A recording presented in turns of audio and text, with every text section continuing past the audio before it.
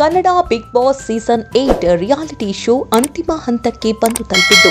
ಕೆಲವು ದಿನಗಳು ಮಾತ್ರ ಬಾಕಿ ಉಳಿದಿದೆ.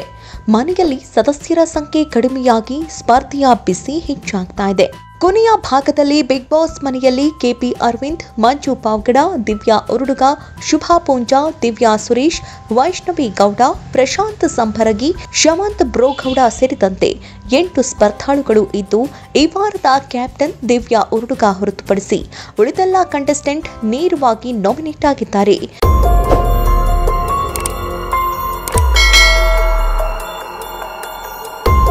ಇವರಲ್ಲಿ ಮೂವರು ಒಂದೇ ವಾರದಲ್ಲಿ ಎಲಿಮಿನೇಟ್ ಆಗ್ತಾರೆ ಎಂಬ ಮಾಹಿತಿ ಇದೆ.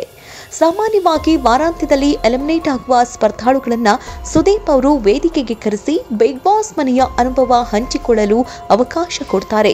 ಈ ವಾರ ಚಂದ್ರಚೂಡ್ ವಾರದ ಮಧ್ಯದಲ್ಲೇ ಮನೆಯಿಂದ ಹೊರನಡೆದಿದ್ದಾರೆ. ಹೀಗಿರುವಾಗ ಫಿನಾಲೆ ವಾರಕ್ಕೆ ಐದು ಜನರನ್ನ ಮಾತ್ರ ಉಳಿಸಿಕೊಳ್ಳೋದ್ರಿಂದ ವಾರಾಂತ್ಯ ಡಬಲ್ ಎಲಿಮಿನೇಷನ್ ಮಾಡಿ ಆರಂಭದಲ್ಲೇ ಒಬ್ಬರಿಗೆ ಗೇಟ್ ಪಾಸ್ ಕೊಡುವ ಸಾಧ್ಯತೆ ದಟ್ಟವಾಗಿದೆ. ಇನ್ನು ಫಿನಾಲೆಯಲ್ಲಿ ಯಾರಿರ್ತಾರೆ ಎಂಬ ಲೆಕ್ಕಾಚಾರ ಸಾಮಾಜಿಕ ಜಾಲತಾಣದಲ್ಲಿ ಹರಿದಾಡ್ತಾ ಇದ್ದು ವೈಷ್ಣವಿ, ಮಂಜು, ಅರವಿಂದ್ ಬಗ್ಗೆ ಜನರ ಒಲವಿದೆ.